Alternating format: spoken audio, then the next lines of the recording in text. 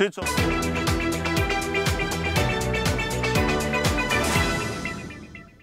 Potrójne Espresso. Wracamy do studia Telewizji Republika, a na naszych łączach skype'owych dwójka gości.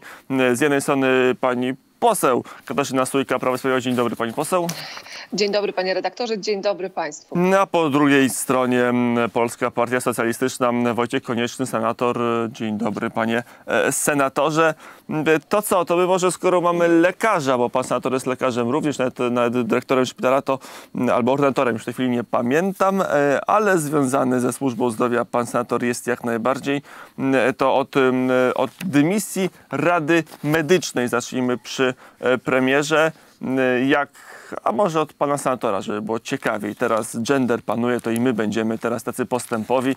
To od pana senatora zaczniemy, jak pan senator e, tą e, decyzję przyjmuje i czy to jest słuszne, żeby Rada odchodziła, bo, bo jest krytykowana. I niesłuchana. No, s- Rada chyba nie odchodzi dlatego, że jest krytykowana. Tylko, że jest No, niesłuchana. O, no to jest lepsze, mm, lepsze określenie. To znaczy, no, wiemy z wypowiedzi członków Rady Medycznej, że no, już swój udział uznali za jakby mm, no, nie, nieistotny, jeżeli chodzi o walkę z epidemią. A na to rzeczywiście tak, tego rodzaju osoby, autorytety medyczne no, nie chcą sobie pozwolić, dlatego że to też podrywa ich autorytet. Bo jeżeli firmują pewne działania, jednak ta Rada Medyczna, mm, kiedy, kiedy dochodziło do jakiejś sytuacji, gdzie rząd był wzywany do odpowiedzi, to zastawiał się rząd. Mówił, że no, to są decyzje Rady Medycznej, Rada Medyczna nam tutaj doradza, my postąpimy albo nie, weźmiemy pod uwagę lub nie. No i najwyraźniej e, ta piąta fala, która się zbliża, była tak lekceważona, bo widzimy to cały czas e, przez rząd, że już e, no, ucho się urwało, jak to się mówi. No, ludzie mają swoją odporność, wytrzymałość na, na taką właśnie, na taki, taki brak odzewu. I słyszymy o tym, że odbyła się Rada Medyczna bodajże w Sylwestra, gdzie rządzący, przedstawiciele rządzących powiedzieli, że jest klincz wokół obostrzeń, klincz wokół szczepień, e, polityczny klincz i w związku z tym ich, ich e, zalecenia no, nie będą realizowane. No i No tylko od tego jest, mm, od tego są politycy, żeby podejmować decyzje, Mm, a Rada Medyczna z całym szacunkiem dla mm, profesorów, dla medyków tam zas- zasiadających, e, no chyba Ale- nie miała mandatu demokratycznego tego, żeby podejmować decyzje ja rozumiem, że mogą się obrazić, bo są niesłuchani, ale z drugiej strony e, jest tak, że to jednak politycy potem ponoszą koszty tych decyzji. Nie, ale panie redaktorze, jest też coś takiego jak kodeks etyki lekarskiej i w ogóle etyka lekarska. Jeżeli bierze pan udział w y, działaniach i, i reprezentuje pan i pokazuje pan tam swoje oblicze i, i te działania są nieskuteczne, one są jakby idące w poprzek y, y, zaleceniom medycznym, no to jest moment, w którym no, można się z tego wycofać i to jest jak najbardziej etyczne. To nie jest tak, że oni się obrazili. E, To E, teraz głos do przedstawicielki Prawa i Sprawiedliwości, e, która ma trudniej, bo jeszcze musi nie tylko że zajmować się polityką, też jeszcze zarządzać rodziną. E, tak to jest, że większość kobiet w Polsce pracuje na dwa etaty i tu mamy tego najlepszy e, przykład. E, Pani poseł, odchodzi, odchodzi Rada Medyczna, to jest kłopot polityczny, to jest tak, że nie jesteście w stanie prowadzić skutecznej polityki pandemicznej, bo macie silny opór we własnym klubie parlamentarnym? Ja tylko jeszcze nawrócę rzeczywiście e, rodzina. E, Zarządzam również rodziną, a dzisiaj wyjątkowo szczególnie, ponieważ e, większość moich dzieci zaraz po skończonym programie udajemy się na szczepienie właśnie przeciwko COVID, bo oni są już po piątym roku życia. Szanowni Państwo, ja tutaj trzeba po prostu sobie odpowiedzieć na pierwsze podstawowe pytanie. Jaka jest rola tej Rady Medycznej, która funkcjonowała przy Ministerstwie Zdrowia, przy premierze. Rada Medyczna miała rekomendować i, to znaczy nawet nie miała, ma rekomendować i opiniować na temat właśnie COVID-19 i proponować pewne rozwiązania, które według niej, niej będą słuszne w postępowaniu, w przeciwdziałaniu e, pandemii COVID-19. I prawda jest taka, że oni opiniują i rekomendują, natomiast ostatecznie nie podejmują decyzji i nie biorą na siebie tej odpowiedzialności i konsekwencji e, tych decyzji. I też e, po drugie ważną rzeczą jest, bym mówić jasno, że Rada Medyczna to jest tylko jeden z członków, który, który wydaje pewne opinie, natomiast, y, e, natomiast te opinie są konsultowane z szerokim środowiskiem ekspertów, ekspertów y, w dziedzinie szkolnictwa, ekspertów w dziedzinie gospodarki, ekspertów e, myślę różnego kalibru i dopiero e, te wszystkie opinie składają się prawdopodobnie, tak powinno być, na decyzję i na to, że rząd, że Ministerstwo Zdrowia przyjmuje odpowiedzialność, biorąc jakiś kierunek,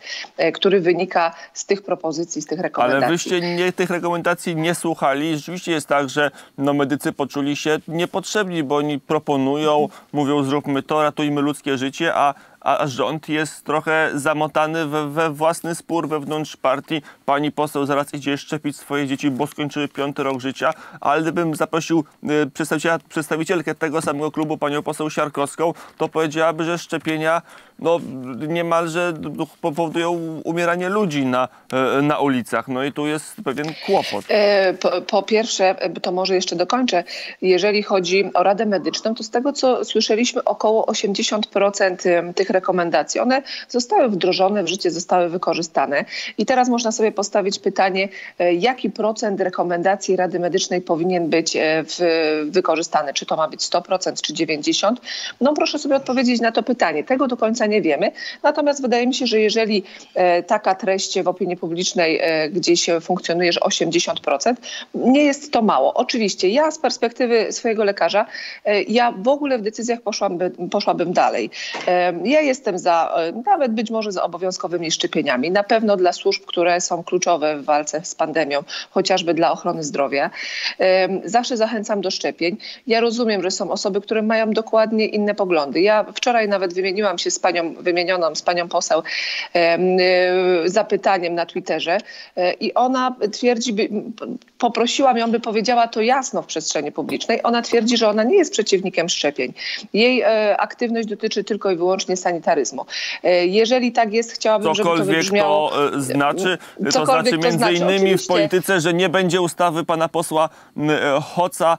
Mamy sytuację już naprawdę na ostrzu noża, bo zdaje się, że minister Niedzielski niemalże wprost, niemalże wprost mówi, że on, że dymisji, jeżeli tej ustawy nie będzie, to ostatnie krótkie pytanie do to pani poseł, ona będzie czy nie będzie? Co z ustawą, tak zwaną ustawą pana posła Hoca?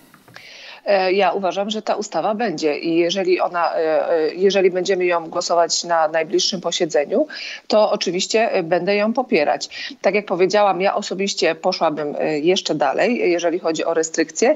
Natomiast zdaję sobie sprawę, że są osoby, które mają odmienne poglądy, chociaż tak jak tutaj Państwo sugerowaliście, że być może w naszym klubie mamy bardzo odmienne zdania i duży spór. Myślę, że nie jest to prawdą. prawdą. Oczywiście są osoby, które nie no, zgadzają się. Z jakiegoś się... powodu ustawa pana posła Hoca buksuje. Jakoś powodu mamy bardzo dziwne słowa. To do pana senatora... Myślę, że nie jest to e, tak szeroka grupa. E, jak będzie głosowanie, e, przekonamy Pani się. poseł, wystarczające, aby niektóre projekty ustaw wpadały, wystarczające, aby pan minister Niedzielski groził odejściem do senatora koniecznego pytanie polityczne o tym, czy, czy rzeczywiście pan minister Niedzielski powinien odejść, czy on już jest taką osobą, która straciła swój autorytet ministerialny? Panie redaktorze, e, chcę zaznaczyć, że nie będę się wypowiadał jakoś specjalnie złośliwie, tylko powiem po prostu dość ogólnie. Ja uważam, że pan minister Niedzielski nie powinien obejmować tego stanowiska. Dlatego, że w okresie pandemii, kiedy, kiedy to jest największe wyzwanie zdrowotne dla systemu opieki zdrowotnej e, naszego kraju i innych krajów, ministrem zdrowia powinien być człowiek e, bardzo doświadczony w, w walce z różnymi chorobami, z w organizacji systemu obrony i tak dalej. Generalnie powinien być to lekarz. To tak jak w czasie pokoju mamy, mamy cywilną, e, cywilny nadzór nad armią, jednak kiedy zaczyna się wojna, no to jednak będą dowodzić nami dowódcy wojskowi, no to wiemy. I tutaj tak samo. W Ministerstwie Zdrowia jest chyba tylko pan wiceminister Kraska lekarzem. Tak jest, jedyny. Tak. To są, to są PR-owcy, ekonomiści, e, ludzie no, luźno związani bardzo z ochroną zdrowia, przede wszystkim nie mający wiedzy, doświadczenia, oraz ale ty, ty, pan minister Niedzielski, z całym panie senatorze, ale był szefem... E... Przez półtora roku. Przez półtora roku był szefem NFZ-u rzeczywiście. Natomiast ja mówię o ludziach, którzy 20 lat zajmują się tym 30, mają ogromne doświadczenie, wiedzą co to znaczy. Jak tyle tylko przez powie- 30 lat Rzeczpospolitej trzeciej mieliśmy Panie lekarzy prawie zawsze, poza dwoma wy- wy- wyjątkami, pan Dzielski jest tym drugim, mieliśmy tylko lekarzy i, i nie było oszałamiających Panie efektów w redaktorze, reformowaniu służby zdrowia. Dlatego, dlatego mówię, że w okresie wojny to na pewno już powinno być zmienione, a teraz mamy taki stan wojny z epidemią. Drugą sprawą jest na przykład szef Sanepidu, który ustawowo, jak pan redaktor bardzo dobrze wie, w ustawie jest zapisane, że powinien być lekarzem jeszcze określonej specjalizacji. Cieszę się, że p- pan senator tak wysoko ceni moją wiedzę prawniczą. Ale no, no, jednoznacznie, jednoznacznie jest to w ustawach zapisane. Natomiast w okresie epidemii, w najtrudniejszej próbie dla sanepidu, no również nie ustawowo mm, opisany. ym, Tak ale jest nie pełniący obowiązki, to jest prawda. pełni obowiązki, tak, no mógł pełnić obowiązki przez miesiąc, dwa, jeżeli tam był kłopot z powołaniem kogoś. Także takie podejście do epidemii teraz to, że w tej Radzie Medycznej, Radzie jakiejś tam będą różni ludzie, lekarze pewnie będą mieli jeszcze słabszy głos w tej Radzie, bo będą tam właśnie PR-owcy, socjologowie, ekonomiści. No możemy tak ten... Okej, tylko y, pan senator jako lekarz ma ten medyczny punkt widzenia, ale spójrzmy na kraje Europy Nie, nie Zachodniej, medyczny. spójrzmy na Holandię i ostatnie protesty w Holandii.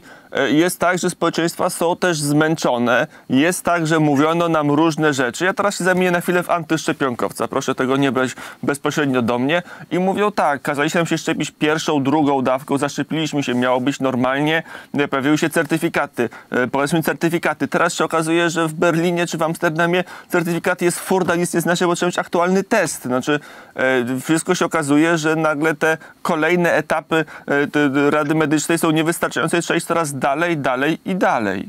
W Amsterdamie w zeszłym tygodniu były już tłumy, które mówiły, mamy dość lockdownów, mamy e, dość walki, szczególnie, że tam ten wirus jest, no nie jest śmiertelny, bo jest znacznie więcej zakażeń, ale znacznie mniej zgonów. Panie redaktorze, u nas umarło 100 tysięcy osób, prawda?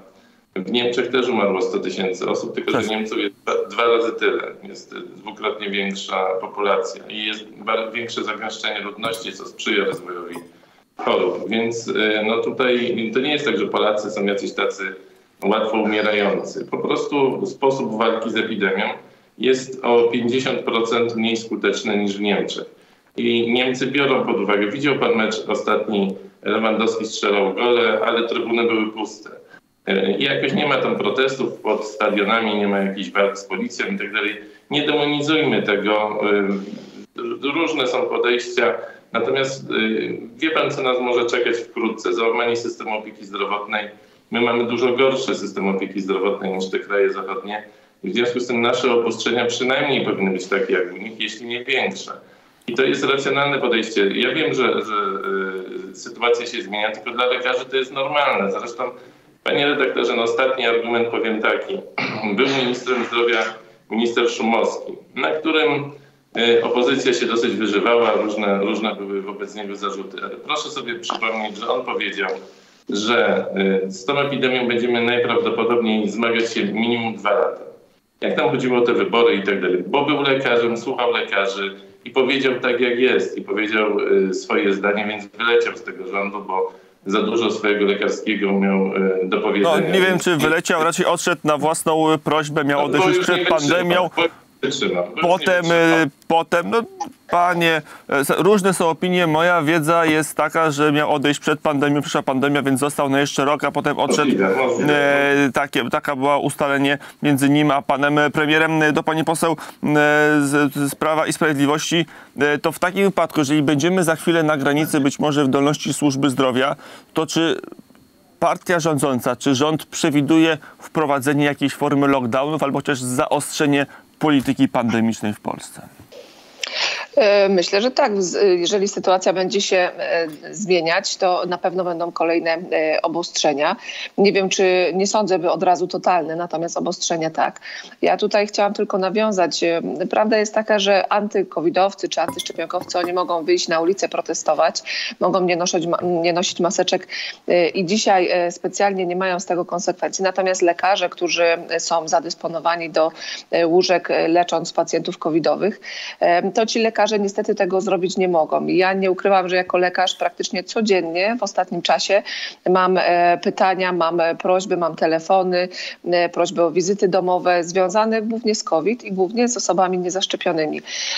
Więc jeszcze chciałam nawiązać do jednej rzeczy, bo nie do końca jestem przekonana, czy tylko i wyłącznie minister, lekarz jest osobą, która mogłaby mieć te wszystkie kompetencje, które potrzebuje minister.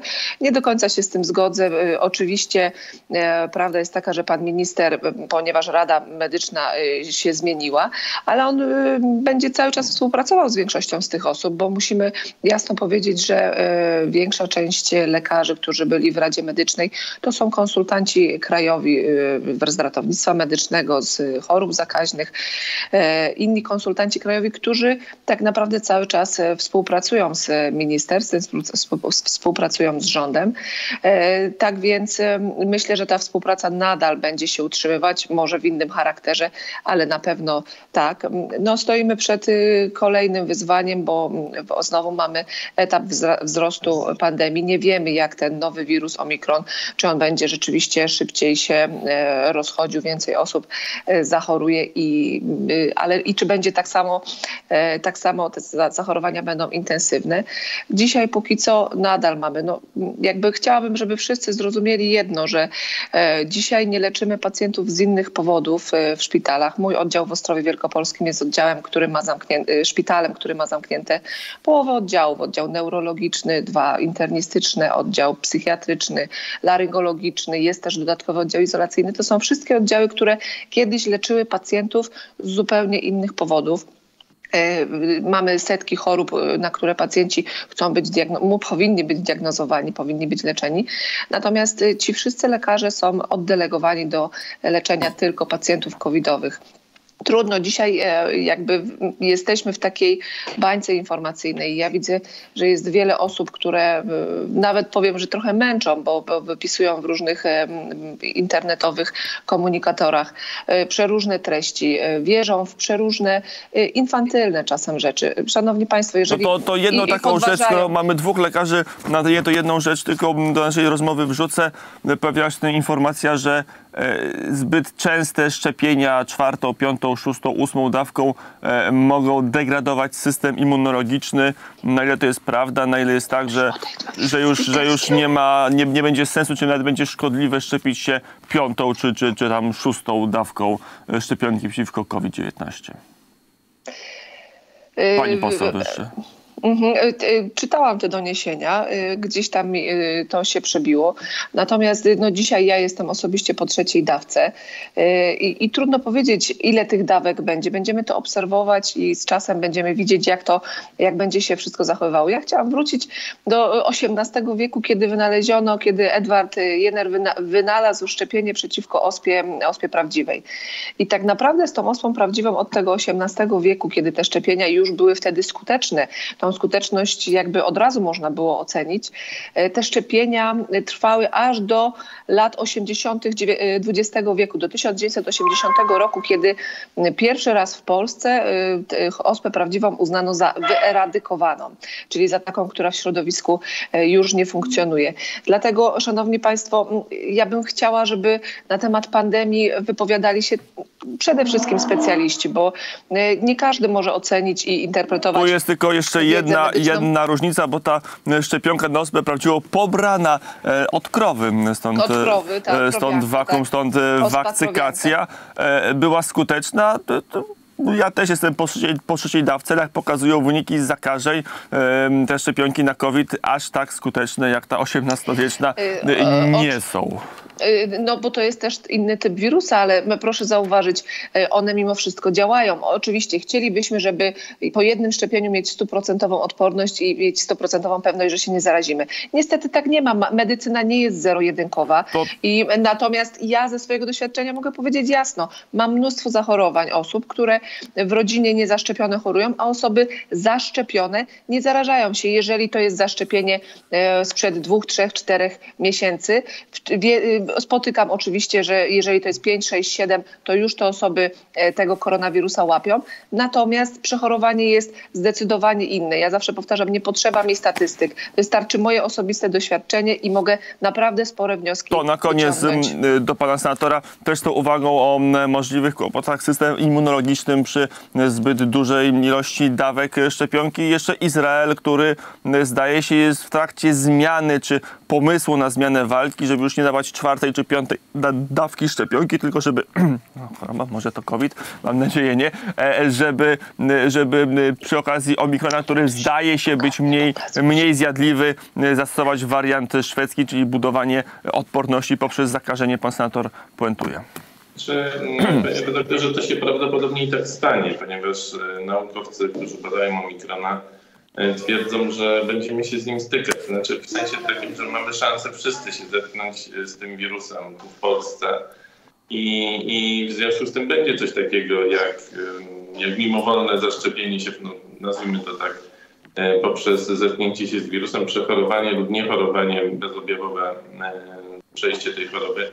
Więc tak, taka, taka sytuacja będzie miała miejsce. Co do tych szczepień, wydaje mi się, chociaż muszę powiedzieć wydaje mi się, bo nie, nie jestem e, epidemiologiem czy wirusologiem, ale że pewnym wyjściem będzie opracowywanie szczepionki na warianty, które ewentualnie się rozwiną. To znaczy nie wydaje mi się, że będziemy się szczepić tą samą szczepionką mm, piąty, szósty, siódmy raz, ale podobnie jak z wirusem grypy, być może będziemy się sezonowo szczepić raz do roku jakąś szczepionką na, na, tą, mm, na ten wariant powiedzmy tego koronawirusa, który będzie się akurat rozprzestrzeniał i będzie powiedzmy groźny.